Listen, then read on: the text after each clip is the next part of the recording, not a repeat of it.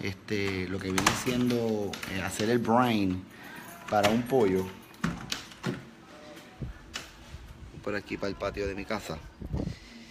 Este cuando hacemos trabajamos el brine para un pollo eh, queremos incorporar bastantes especias. Y yo aquí ustedes saben que tengo bastante cositas sembradas. Este, aquí tengo lo que viene siendo el lemongrass ¿okay? Es que yo me voy a llevar un poco de lemongrass de este.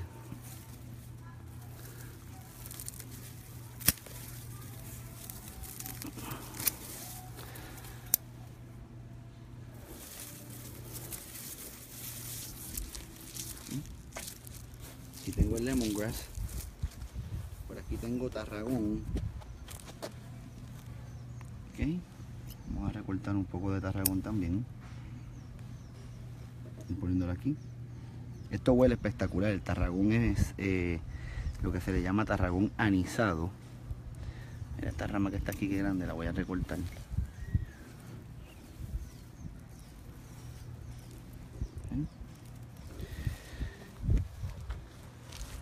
Y aquí tengo también albahaca.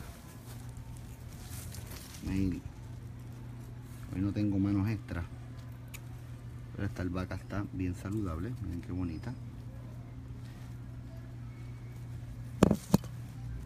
un poco más de albahaca y mira estos chiles qué lindo estos chiles son picantes yo me voy a llevar de ellos por lo menos unos tres porque a mí me gusta el piquecito Saludos a todos los que se han conectado. Estoy cocinando hoy desde mi casa.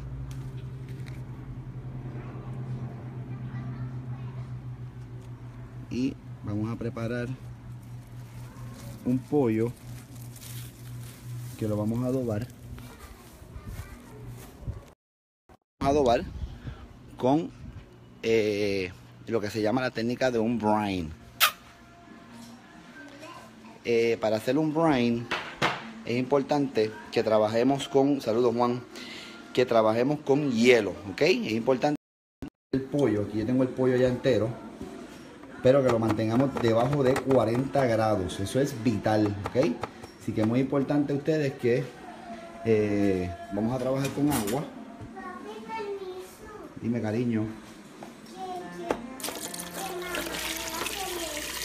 Ok, lo he atrapado ahora, bebé.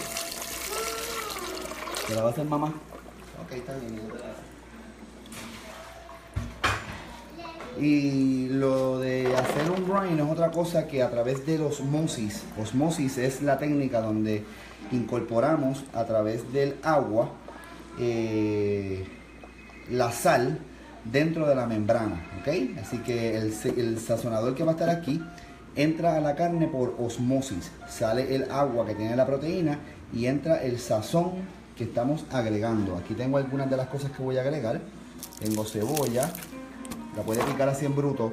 Todas estas cosas no van a estar en el producto final, así que no importa. Eh, aquí tengo sal de mesa. Proporción, mira, ahí tengo más o menos para que tengas la medida. Hay como 4 litros, un poco más de un galón de agua. Tiene eh, bastante hielo. Y vamos a agregar entonces sal. Esta es sal de mesa. Ahí tenía una taza de sal. Eh, tengo vinagre blanco.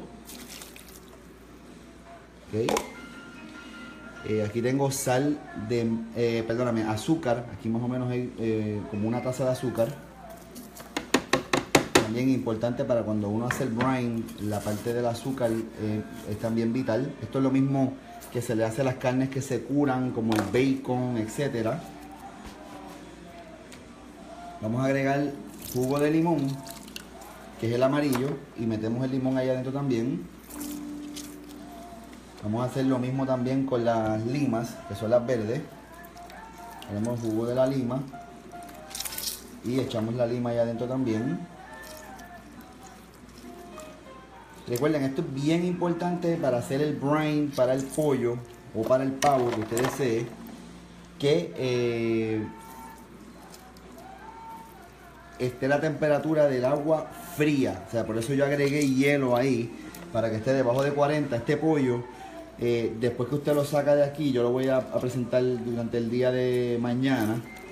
Eh, luego de que estuvo ya en el brain por lo menos 24 horas. Importante eh, también secarlo bien cuando lo saquemos de ahí. Y entonces lo vamos a trozar y entonces le ponemos un poquito de chulería en pote. Aquí tengo clavitos de especia. Vamos a poner dos clavitos. También todas las aromáticas que querramos. Aquí tengo canela, hojas de laurel y clavitos. A todo por ahí. Entonces, eh, voy a tener que hacer una parte aquí con Saludos a todos los de la página de Open Food. Voy a agregar los chiles. Estamos preparando un pollo con la técnica de, eh, se le llama osmosis, que es cuando, ¿verdad? Este, agregamos las especias al agua y esa agua es la que le va a dar sabor. Aquí voy con mi tijera a ir recortando las hierbas que hemos recogido del patio. Tarragón, albahaca, lemongrass.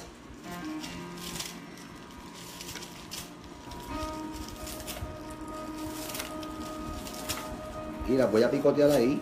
Y esto va a estar ahí, recuerden, eh, por lo menos 24 horas, para que ese, el sabor del agua se le infusione bien chévere a el pollo o cualquier carne, porque esto te lo a preparar con cualquier tipo de proteína, no tiene que ser necesariamente, ¿ok? Para la ración voy a agregar lo que viene siendo sal de, eh, ahorita era sal de mesa, esta es sal de mar, perdónenme, que esta sal es de Puerto Rico, flor de mar, ¿ok? Si es que ellos tienen la página de Facebook de ellos, puedes entrar para que vean la sal de mar. Y no se asuste porque recuerde que estamos sazonando un galón de agua. ¿Ok? Y entonces, pues eso requiere bastante. Aquí habían 8 onzas, ya agregué más o menos la mitad. tenemos más o menos taza y media, una tacita y media más o menos de, eh, de sal y una taza de azúcar por un galón. ¿Ok? Voy a buscar por aquí una cuchara. Para mover. Que puedan ver ustedes.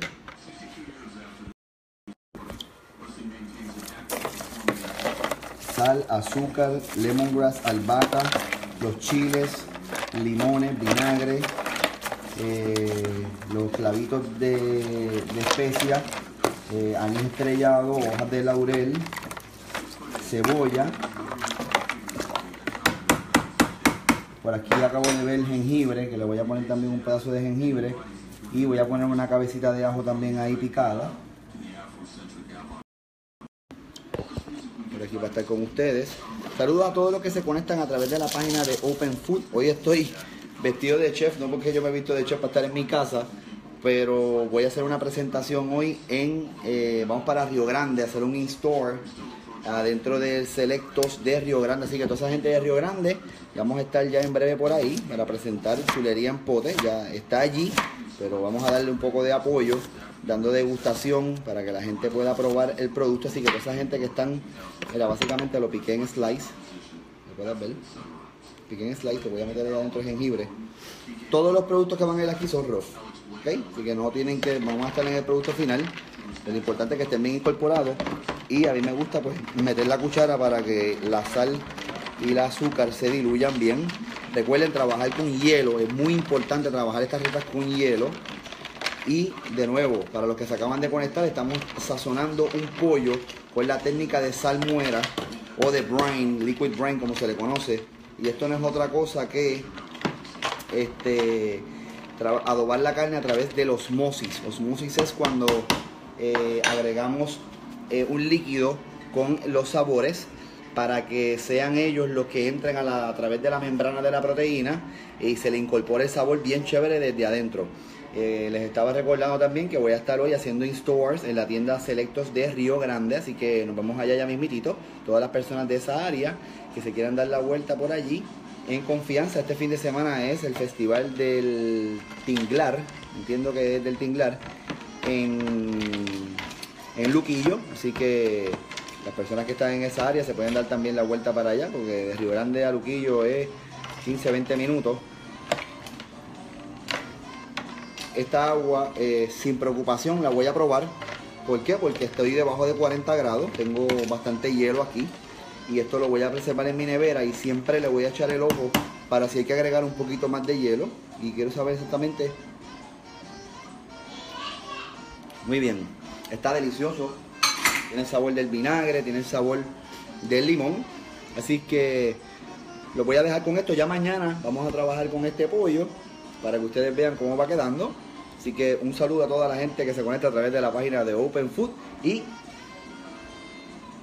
que nos dan el apoyo a Chulería en Pote, ¿ok? Así es que pide el tuyo ya hoy eh, en esta página, de la página de Open Food o en la página de Chef Bimoni también, o